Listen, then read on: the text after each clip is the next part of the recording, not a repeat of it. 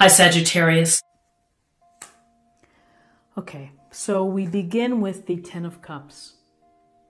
And this is like the happy family card. This is the joy and satisfaction and the love that you gain from your family. And so everybody defines their family differently, and it's a matter of how you view your family. But you can see the couple here raising their arms to the rainbow cups, all of the abundance, essentially counting your blessings for what you have, the children dancing.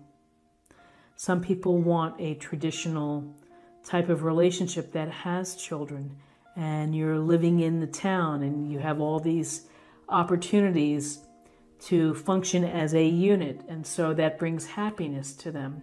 Others define family very differently. They may be single, they may have great friends, uh, they may be close to their own family, but enjoy living as they do. So it's again, it's a matter of how you relate to family, but the focus for the week is on the love for your family. And there's happiness, there's delight, there's a sense that what we work for makes, you know, when you have a family, it makes the hard work much more pleasing and much more satisfying to do. Your other big awareness for the week is that you're going to have to figure out the balance for your life. You're juggling, you are doing a high step dance here, and you're doing everything you can not to drop the pentacle or the balls in the air that you have in your life. We're, you're busy, you have a lot going on, and it takes skill and it takes time to try to prioritize and to devote your energy and your focus and your resources to what you have to accomplish and what you have to do, the bills that you have to pay the relationship between work and play. So you have decisions to make when it comes to all of these things that suck up your time or suck up your money. So you have to really work this week to think about maintaining the balance so that it really doesn't drive you crazy, I think. Maybe that's the message that we're getting is to continue. You're feeling like the juggler you've got a lot going on, it could also indicate you're going to become even more busy. So be just be mindful of that. So now I'm going to choose two cards for guidance.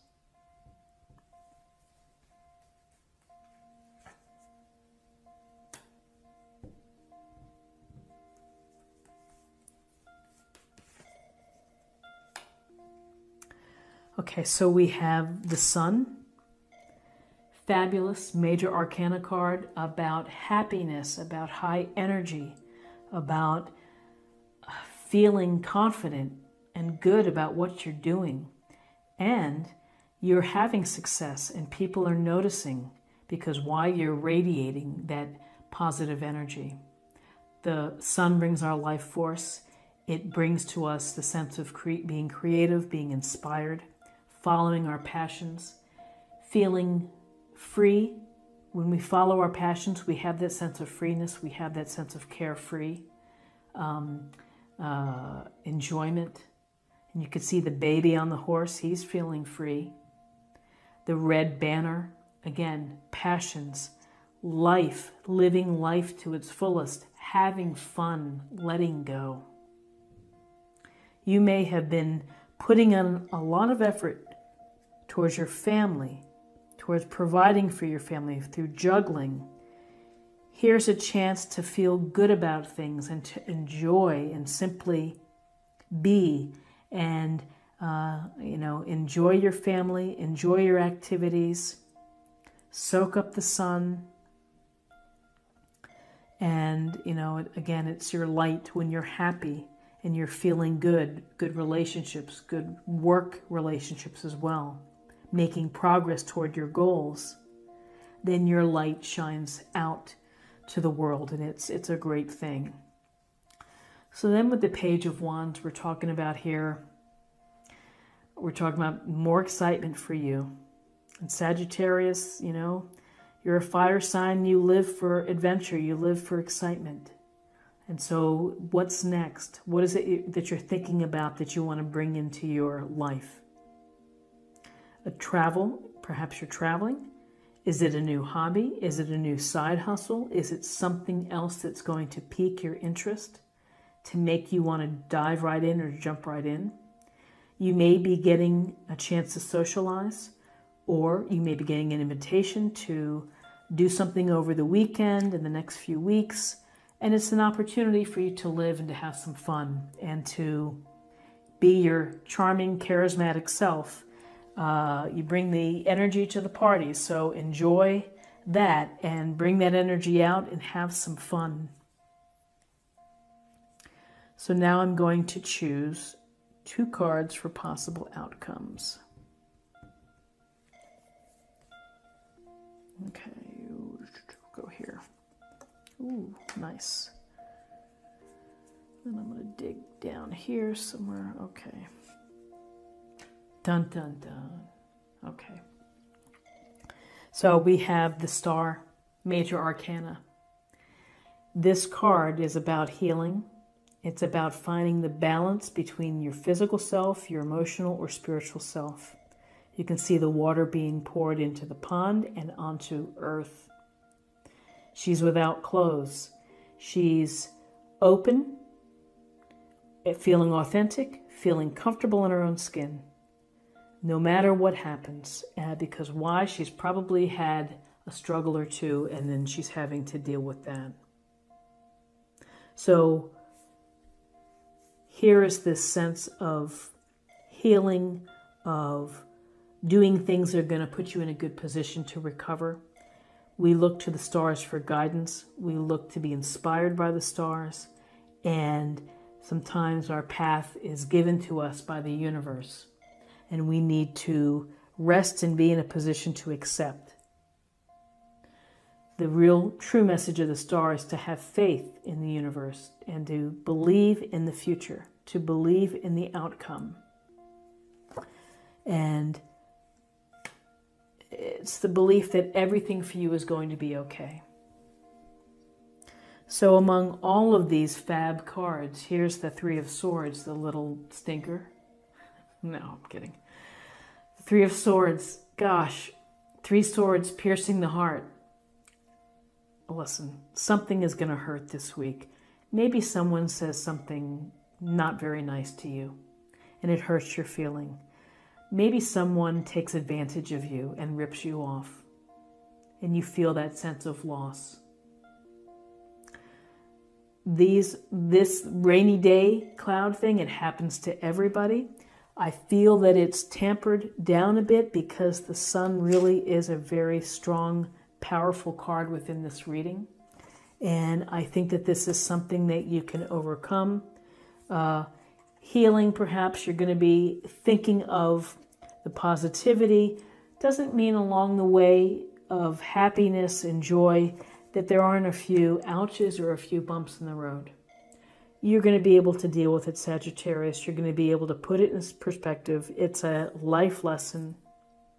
I had high hopes for someone and they let me down. I had high hopes for a situation and it turned out to be a dud and you may have invested money or time or energy, and it may just make you feel pretty lousy. Focus on the blessings that you do have in your life to get through any challenging times. Focus on doing the things that you love because that's going to bring you back to your place, your place of comfort. So Sagittarius, interesting cards. Let's see what else we have for you in terms of focus area or messages to meditate on.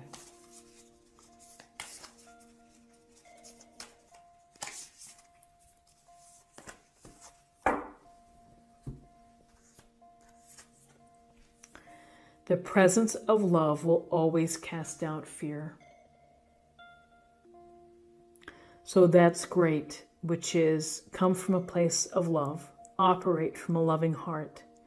And uh, I would also say, when you love yourself, when you're authentic to yourself, and when you have faith that the universe is moving you in a particular route and that everything's going to be okay, then it lessens the fear. And now let's choose a card for spirit or emotional self. I'll tell you what, I'm going to go ahead and shuffle these.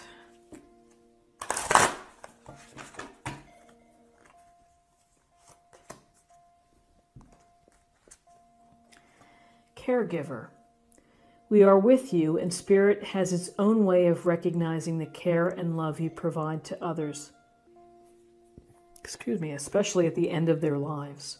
Just as you received care and love at the start of your life.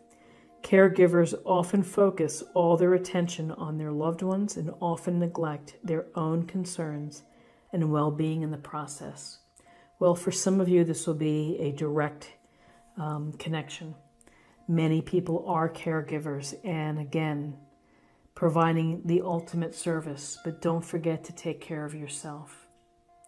And that goes to everybody's state of mind is do not neglect yourself in taking care of yourself to be your own caregiver.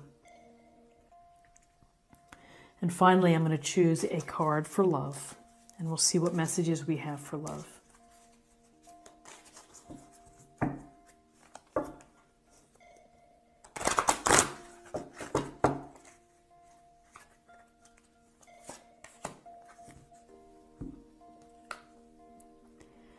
Let go of control issues. Allow this situation to unfold naturally. Sometimes it's second nature to want to control things.